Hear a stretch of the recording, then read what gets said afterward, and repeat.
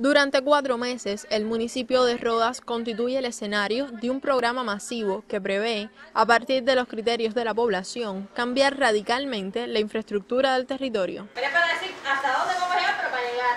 No para que cuando estemos en octubre digamos, no, no, yo no puedo llegar a eso. No es que no te comprometiste en septiembre, a que en cuatro meses terminar estas tres cosas. De cosas que impacten en el territorio. Y lo otro lo que estamos hablando de las estructuras de las organizaciones que sí tienen, tienen cuatro meses para decir que están fortalecidas las estructuras de este territorio. Se diseñaron planes de acción que abarcan más de 150 barrios vulnerables donde se encuentran las principales problemáticas que afectan el municipio. Montamos un sistema desde la Asamblea y del Consejo de Administración que nos permitiera identificar cada uno de los barrios vulnerables eh, en el, por Consejo Popular se definieron cuadros administrativos, políticos, de gobierno, directores de empresas que van a estar en función y enfrentando la tarea.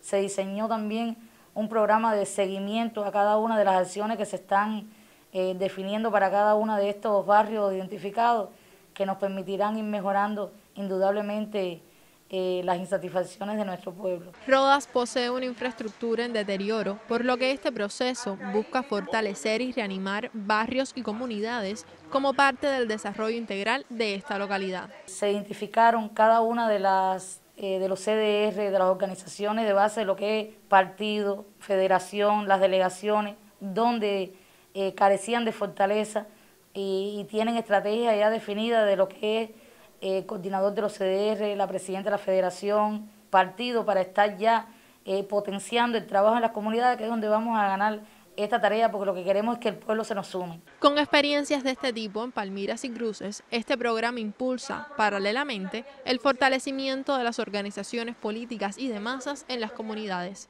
Roxana Martínez, Notisur.